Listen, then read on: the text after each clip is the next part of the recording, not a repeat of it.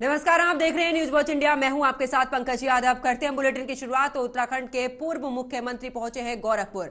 बड़ी खबर आपको बता रहे जहाँ पर पूर्व मुख्यमंत्री त्रिवेंद्र रावत पहुँचे हैं गोरखपुर। त्रिवेंद्र सिंह रावत ने सीएम योगी से की है मुलाकात। सीएम योगी आदित्यनाथ को भेंट किया है शिष्टाचार गोरखपुर की।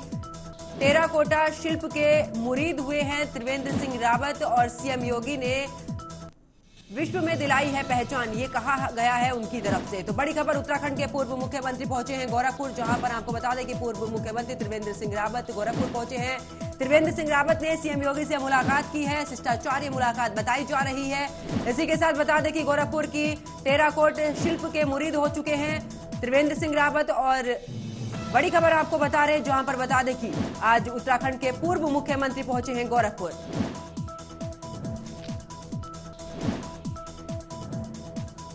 इसी खबर पर ज़्यादा जानकारी के साथ मेरे सहयोगी धनेश कुमार मेरे साथ फ़ोन लाइन पर जुड़ चुके हैं। धनेश, जिस तरीके से उत्तराखंड के पूर्व सीएम ने आज मुलाकात की है, मुख्यमंत्री योगी आदित्यनाथ ने इस दौरान क्या कुछ खास अपडेट जी, बिल्कुल मैं बता दूँ आपको कि योगी आदित्यनाथ गोरखपुर के तीन दिवसीय दौरे पर हैं और वहीं बात की जाए तो आज प्रातः प्रथम दिन उन्होंने प्रातः मंदिर भ्रमण के बाद जनता दरबार लगाया, जिसमें प्रदेश भर के विभिन्न जगहों से 400 लोग आए, जो फरियादी आए थे, उनसे एक एक कर मुख्यमंत्री योगी आदित्यनाथ ने वार्ता की उनकी समस्याओं को सुना और संबंधित अधिकारियों को उनके मामलों को जल्द से जल्द निशान करने की बात कही। अगर बात की जाए तो उत्तराखंड के पूर्व सीएम जो त्रिवेंद्र सिंह रावत जी यहाँ गोरखपुर पहुँचे हुए हैं, उन्होंने पैसा से पहले जाके तेरा कोटा जो जहाँ बनाया जाता है गोरखपुर में, वहाँ गए थे, वहाँ पे उन्होंने देखा है, ये भव्य शिवकला जो है, पूरे देश में जाना जाता है, उसके उन्होंने जाके देखी और उन्होंने कहा सबसे बड़ी बात है कि टेराकोटा का गोरखपुर में जो घर है, वो सबसे बड़ी बात है, और उसके बाद वो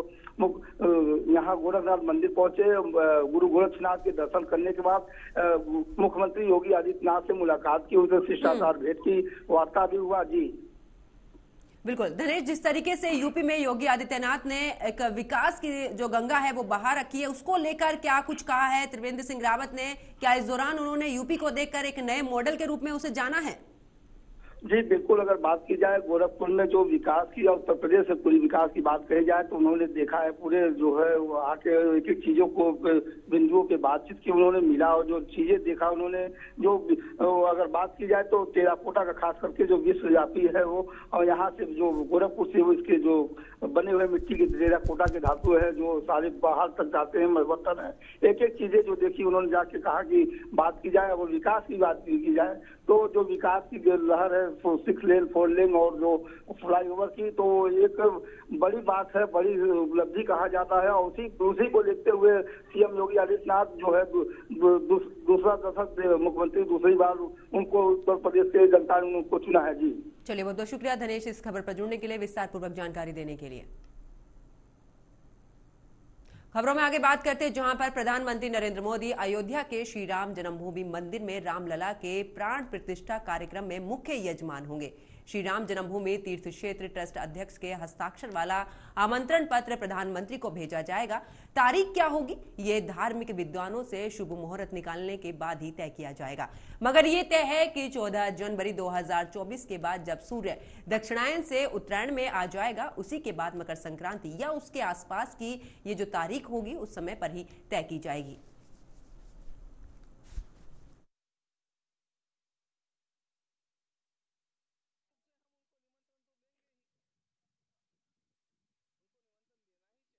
निमंत्रण हम देंगे और जैसा उनका विचार होगा।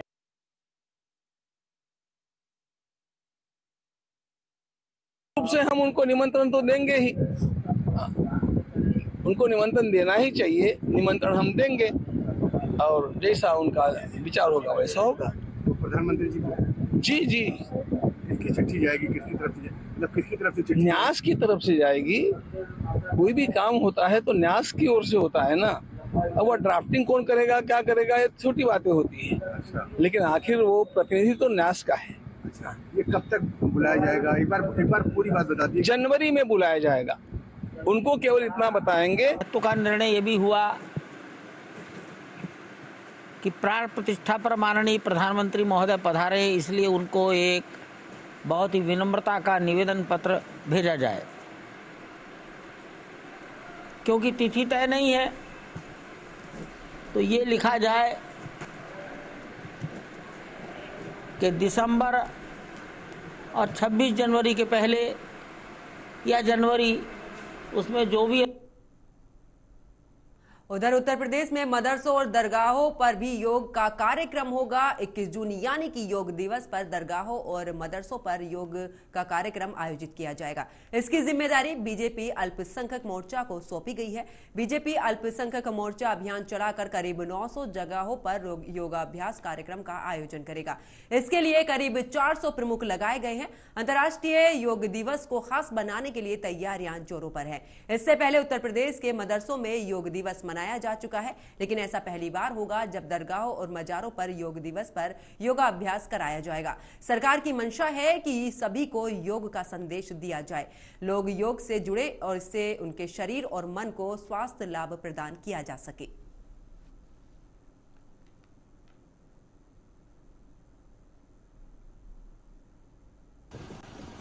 भाजपा अल्पसंख्यक मोर्चा इस बार पूरे उत्तर प्रदेश के अंदर 21 जून को योग दिवस में मदरसों, खानकाहों और सूफी संवाद अभियान के तहत लगातार लोगों के बीच जा रहा है और इस बार हम लगभग 400 कार्यक्रम प्रमुखों के साथ लगभग 900 जगहों पर इस बार योग के कार्यक्रम उत्तर प्रदेश में होंगे, जिनमें बड़ी तादाद के अंदर मुस्लिम खानकाहें, मदरसे और सूफी सूफी विचारधारा के लोग शामिल होंगे और ये कार्यक्रम इस बार बड़ी तादाद में आपको देखने के लिए मिलेगा।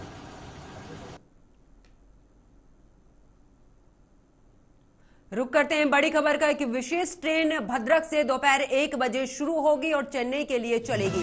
सीटीसी बीबीएसआर और रास्ते में सभी प्रमुख स्थानों पर होगा इकट्ठा ठहराव। शव को ले जाने के लिए ट्रेन में एक पार्सल वैन भी जोड़ी गई है। तो बड़ी खबर आपको बता रहे हैं, जहाँ पर आपको बता दें कि एक विशेष ट्रेन भद्रक से दोपहर एक बजे शुरू होगी, जो चेन्नई के लिए रवाना होगी। सीटीसी बीबीएसआर और रास्ते में सभी जगह पर ये रुकेगी। शवों को ले जाने के लिए ट्रेन में एक पार्सल बैंड भी लगाई गई है। तो बड़ी खबर आपको बता रहे हैं।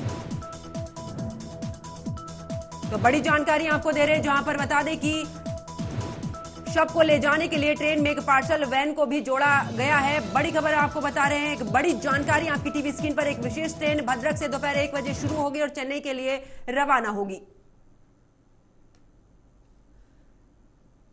और इसी खबर पर ज़्यादा जानकारी के साथ मेरे सहयोगी सरोज मेरे साथ फ़ोन लाइन पर जुड़ चुके हैं। सरोज एक विशेष ट्रेन जो है वो अब शुरू होगी जो शवों को लेकर आएगी। इसको लेकर क्या कुछ खास अपडेट हाँ पंकज जी ये सबसे बड़ी बात है यह सबसे अपडेट खबर है कि जो भद्रक से दिन को एक बजे भद्रक से निकलेगी चेन्नई चेन्नई तक हो जाएगी उसका सफ़र चेन्नई तक रहेगी। लेकिन ये जितने भी लाशें हैं जितने भी अनआइडेंटिफाइड जो लाशें हैं जिनका परिचय कुछ मिला नहीं है हम्म। उसको लेकर वो भी जाए निकले निकलेगी वो गाड़ी निकलेगी ठीक एक बजे भद्रक से और उसका स्टॉपेज रहेगा मेजर स्टॉपेज यानी कि कटक भुवनेश्वर कटक रहेगा भुवनेश्वर रहेगा बरहमपुर रहेगा उसके बाद पलासा रहेगा भाईजाग रहेगा विशाखापट्टनम रहेगा ये हम्म। होकर से वो चेन्नई में जाकर पहुंचेगा पंकज यानी कि सरोज साफ़ तौर पर देखा जाए तो जो लोग वहाँ तक नहीं पहुँच पा रहे हैं उनके जो परिजन हैं जिनकी मौत हो चुकी है इस हादसे में उनके शवों को लेकर जगह जगह पर ट्रेन को रोका जाएगा ताकि वो अपने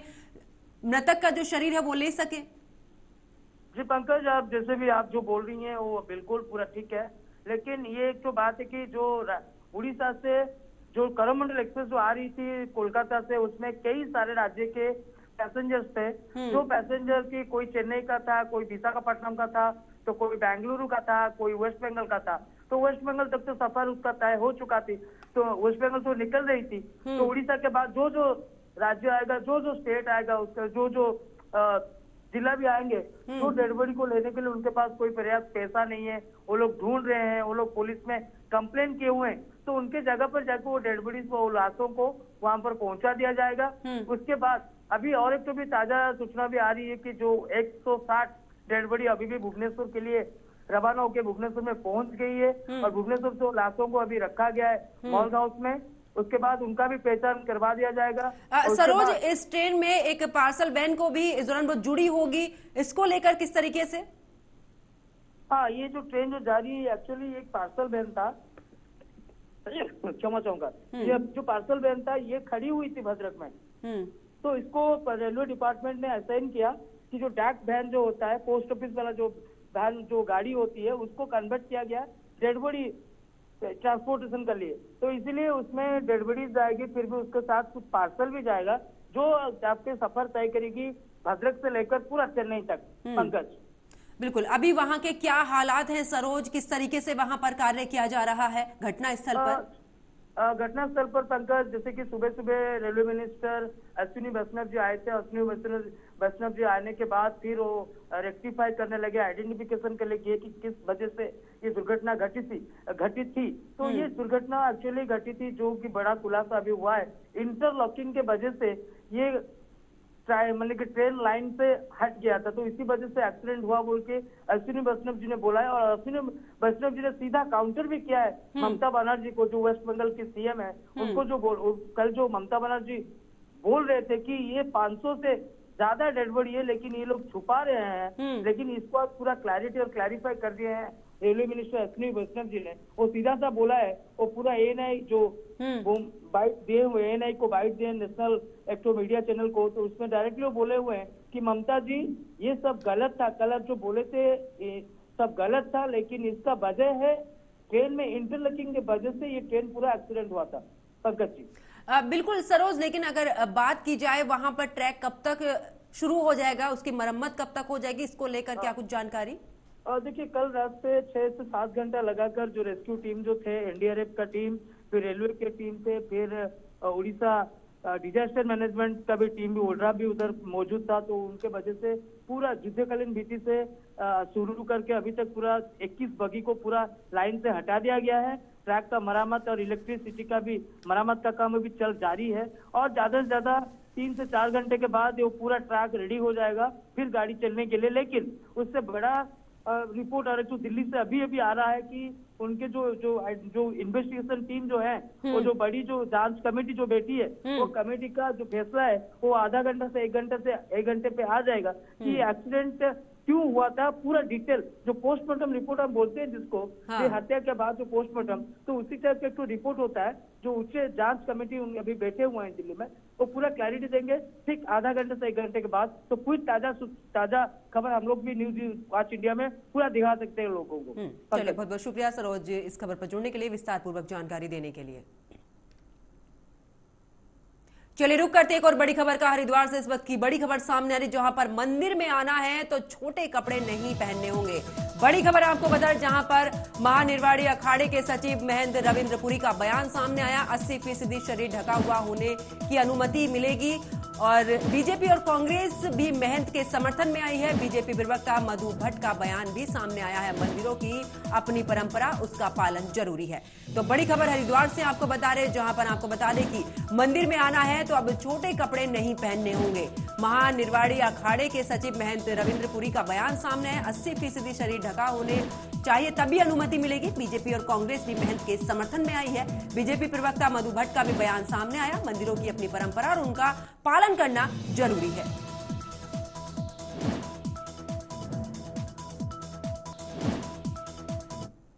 खबरों में आगे बात करते हैं, जहाँ पर गोरखपुर के टॉप टेन और उत्तर प्रदेश के टॉप इकसठ बदमाशों की फहरिस्त में शामिल माफिया राकेश यादव ने गोरखपुर की एक अदालत में आत्मसमर्पण कर दिया।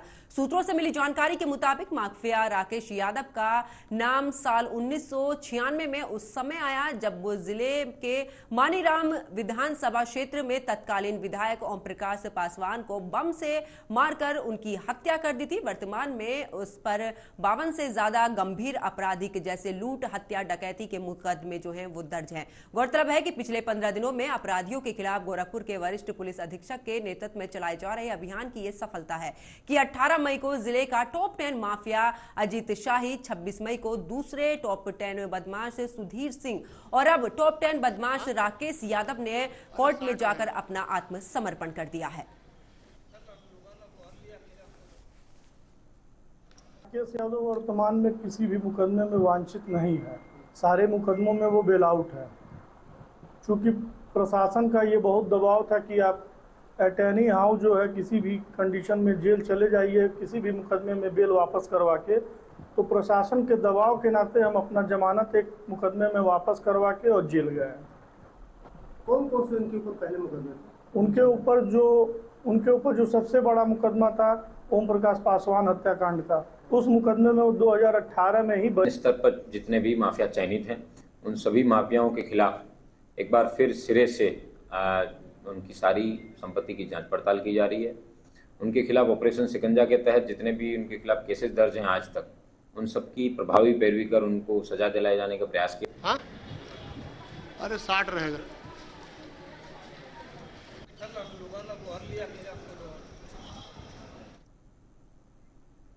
और इसी खबर पर ज़्यादा जानकारी के साथ मेरे सहयोगी धनेश मेरे साथ फ़ोन लाइन पर जुड़ चुके हैं। धनेश, जिस तरीके से गैंगस्टर एक्ट के तहत जो ये अपराधी था टॉप टेन में राकेश यादव, उसने आत्मसमर्पण किया है। यानी कि माना जाए कि कानून व्यवस्था जिस तरीके से उसमें सुधार हो रहा है, उसका कहीं ना कहीं ये असर है। जी, बिल्कुल, अगर देखा जाए, मुख्यमंत्री जो पहले दशक में मुख्यमंत्री योगी आदित्यनाथ ने शपथ दी थी तो उन्होंने कहा था कि माफिया और मच्छर पूरी तरह से यूपी से साफ़ हो जाएँगे या फिर सीधे उनका जो सही जगह है जेल, या फिर जेल में रहेंगे। तो बात को अगर मतलब देखा जाए तो कानून व्यवस्था तो देखा जाए तो सारे माफिया जो है गोरखपुर से नहीं, बल्कि पूरे यूपी के माफिया जो है, जेल में है या फिर उनको, उनकी जो है रास्ता सीधे ऊपर के लिए जल गया। अगर बात करें गोरखपुर की तो गोरखपुर में लगभग जो जो दर्जनों माफिया थे भू माफिया दर्जनों उनके ऊपर जो आपराधिक आपराधिक जो अपराध वांछित थे, वो सारे माफिया जो कुछ लोग गायब हो चुके हैं और कुछ लोगों ने लगातार अगर बात की जाए तो सरेंडर कर सुधीर सिंह सुधीर सिंह, राकेश यादव और जो सहित उनके सहित अन्य जो माफिया है अपना आत्मसमर्पण कर दिए हैं। अगर देखा जाए तो कहा जाए खौफ जो कानून का खौफ सब माफिया में दिख रहा है लगातार वो एक पे एक करके सरेंडर कर रहे हैं जी। बिल्कुल धनेश क्योंकि विशेष अभियान जो है वो पुलिस की तरफ़ से चलाया जा रहा है। इन माफियाओं के खिलाफ तो कहीं ना कहीं अब पुलिस का डर जो है वो बदमाशों में नज़र आने लगा है। जी बिल्कुल अगर बात की जाए ऑपरेशन सिकंजा जो सिकंजा कसने की बात की जाए माफिया माफियाओं अपराधियों भू माफियाओं पर ऑपरेशन सिकंजा के तहत जो सिकंजा कसी जा रही है कहीं ना कहीं पूरी तरह से एकदम सफल नज़र आ रहा है। अपराधी जो है उनके दिल में दहशत पड़ गया है कानून का दहशत है और प्रदेश सरकार की पूरी तरह दहशत है। वो तो एक एक कर सरेंडर कर रहे हैं। कल जो है राकेश यादव ने यहाँ पे सरेंडर किया जो पूर्व विधायक माली राम थे वहाँ के और तत्कालीन में जो है सांसद कमलेश पासवान बासगांव और उनके पिता रहे हैं। उनको जो हत्या में वांछित भी ये अ, राकेश यादव थे उनका उन्होंने कल सरेंडर किया जी। बिल्कुल धनेश कितने मामले दर्ज थे और कौन कौन से ऐसे मामले थे जिनके खिलाफ सख्त से सख्त कार्रवाई करने के लिए पुलिस ने इस अभियान की शुरुआत की थी और इतनी बड़ी सफलता हाथ लगी है? जी दर्जनों मामले में कह रहा हूँ कि जो पूर्व विधायक थे ओम प्रकाश पासवान जो कमलेश पासवान अभी जो है सांसद है बासगांव के उनके पिता थे ओम प्रकाश पासवान उनकी हत्या में वांछित थे भूमा और दर्जनों हत्या जो थी उसमें जो है लगभग इक्यावन मामले हम्म। इक्यावन मामलों में वांछित थे। ये राकेश यादव, उसको वांछित थे और लगातार पुलिस दबिश दे रही थी, ढूंढ रही थी। और उसके दबाव में आके, पुलिस के दबाव में आके उन्होंने कल आत्मसमर्पण किया। जी। चलिए, बहुत बहुत शुक्रिया धनेश इस खबर पर जुड़ने के लिए विस्तार पूर्वक जानकारी देने के लिए। रुक करते एक और बड़ी खबर का, कुशीनगर से बड़ी खबर सामने आ रही, जहाँ पर अज्ञात कारणों से एक कपड़े की दुकान में लगी है आग, भयंकर आग। आसपास की दुकानों में भी फैली है, बाज़ार में मची आग बुझाने को लेकर अफरा तफरी आग लगने की सूचना पर स्थानीय पुलिस भी मौके पर पहुँची है। फाजिल नगर कस्बे की ये पूरी घटना बताई जा रही है। तो बड़ी खबर आपको बता रहे जहाँ पर आपको बता दें कि एक कपड़े की दुकान में भीषण आग लगी है। और साथ ही बता दें कि अज्ञात कारणों की वजह से कपड़े की दुकान में भीषण आग लगी है। भयंकर आग लगने की वजह से आसपास की दुकानों में भी आग फैली है। और बाज़ार में आग बुझाने को लेकर अफरा तफरी मची। आग लगने की सूचना मिलते ही स्थानीय पुलिस भी मौके पर पहुँची। फाजिल नगर कस्बे की पूरी घटना बताई जा रही है।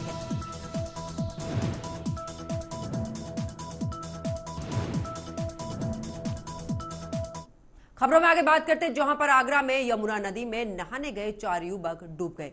चारों की तलाश की जा रही है। पुलिस के मुताबिक युवकों को डूबता देख उनके दो अन्य साथी उन्हें बचाने के लिए यमुना में उतरे, लेकिन वो भी डूबने लगे। जिन्हें आसपास मौजूद लोगों ने बचा लिया। थाना छता प्रभारी अनुराग शर्मा ने बताया है कि यमुना में डूबे चारों दोस्तों का अभी तक पता नहीं चल सका है और गोताखोर उनकी तलाश में जुटे हुए हैं। पुलिस के मुताबिक सदर के रहने वाले छह युवक हाथी घाट पर पूजा करने के लिए गए थे और इस दौरान चार युवक यमुना में नहाने उतरे और इस दौरान डूब गए।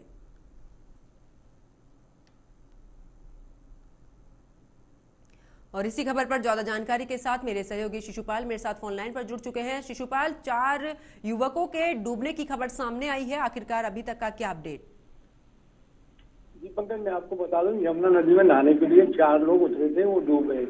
आपको मैं बताया था उनकी आयु करीब बीस से बाईस वर्ष की थी। हम्म। दो दो बजे दो बजे की घटना है नौलखा के एक वृद्ध के निधन हो गया था उसकी बस्ती में आए लोग अंतिम संस्कार में शामिल होने के लिए ताजगंज शमशान घाट के लिए आए हुए थे। जिसमें से छह मित्र थे ऋतिक सोनू उर्फ़ विष्णु सचिन तुषार पवन और विशाल। अंतिम संस्कार के बाद वो मित्र हाथी घाट पर पूजा करने के बाबा एक बुल्की बाबा बुल, बुल्की बाबा है उनकी पूजा करने के लिए शमशान घाट पर जाते हुए पूजा करने के बाद तैराक एक उसमें से एक तैरना भी जानता उसका नाम ऋतिक था और अन्य मित्र जमुना में नहाने के चले गए। पूजा करने के बाद करीब 20 मिनट तक जब वो नहीं आए तो उनके जो दो मित्र साथी थे जो पूजा कर रहे थे उन्होंने उन्हें देखा कि उन्हें बुलाया तो जो वापस निकलने लगे तो जो जमुना नदी में गहरे गड्ढे थे उसमें वो चारों युवक डूब गए। चलिए बहुत बहुत शुक्रिया शिशुपाल इस खबर पर जुड़ने के लिए विस्तारपूर्वक विस्तार पूर्वक जानकारी देने के लिए। खबरों में आगे बात करते हैं जहाँ पर गाजीपुर के कोतवाली क्षेत्र के गोरा बाज़ार इलाके में एक बड़ा हादसा हो गया है। गंगा नदी के पत्थर घाट पर हादसा उस समय हुआ जब नदी के बीच में उभरते रेत के टीले पर पाँच लड़के किशोर फुटबॉल खेल रहे थे। किसी दौरान जोरदार किक से चलते फुटबॉल पानी में चली गई। फुटबॉल वापस लाने के लिए पहले एक किशोर पानी में गया, मगर वो नदी में गहराई के कारण डूबने लगा, जिसके बाद दो और किशोर अपने साथी को बचाने के लिए नदी में गए। दोस्त को बचाने में वो भी नदी में डूब गए, जबकि उनके साथ मौजूद अन्य दो लड़के किसी तरह अपनी जान बचा सके हैं। उन लोगों ने घटना की जानकारी अन्य लोगों को दी और साथ ही सूचना मिलते ही पुलिस भी मौके पर पहुँची। तब तक डूबे हुए तीनों लड़कों को इस दौरान तलाशी उनकी की जा रही है।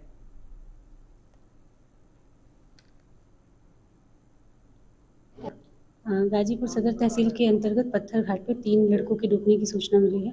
तो हम लोग अभी रेस्क्यू ऑपरेशन अपना कर रहे हैं लोकल लेवल पे। इसके अतिरिक्त हमने एनडीआरएफ की टीम भी बुलाई हुई है जो कि अभी थोड़ी समय पर यहाँ पे पहुँच जाएगी और फिर रेस्क्यू ऑपरेशन शुरू करेगी अपना।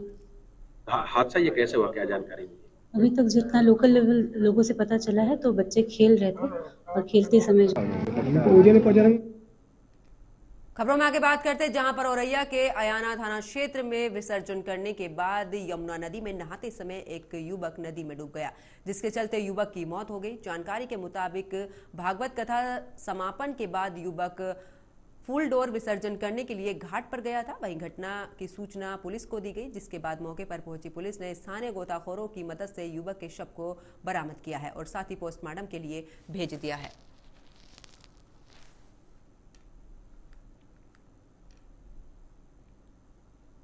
खबरों में आगे बात करते हैं, जहाँ पर दिल्ली में स्कूली छात्रों की शिक्षा को बेहतर बनाने के लिए दिल्ली सरकार की ओर से अब योगा की क्लास पर भी विशेष ज़ोर दिया जा रहा है। दिल्ली सरकारी स्कूलों में छात्रों की पढ़ाई के साथ साथ अब योग भी सिखाया जा रहा है। योग के दौरान दिल्ली के स्कूलों में छात्र भी बेहद उत्साहित नज़र आ रहे हैं। स्कूली छात्र भी जमकर मस्ती के साथ साथ योग भी कर रहे हैं। स्कूल शिक्षक और ट्रेनर का कहना है कि योग से मन शांत होगा और छात्र अपनी पढ़ाई पर ध्यान केंद्रित कर सकेंगे, जबकि स्कूली छात्र भी इसका भरपूर आनंद उठा रहे हैं।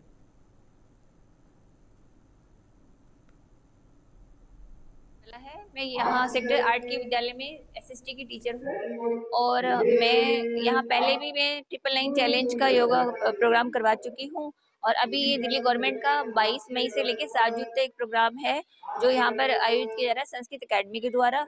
इसमें हमारे प्रिंसिपल सर अवधेश झा का बहुत ही सहयोग है हमारे साथ, वो भी इंटरेस्ट लेते हैं इसमें और इस योग प्रोग्राम से सभी बच्चों ने एक पॉजिटिव अपना एनर्जी दिखाई है।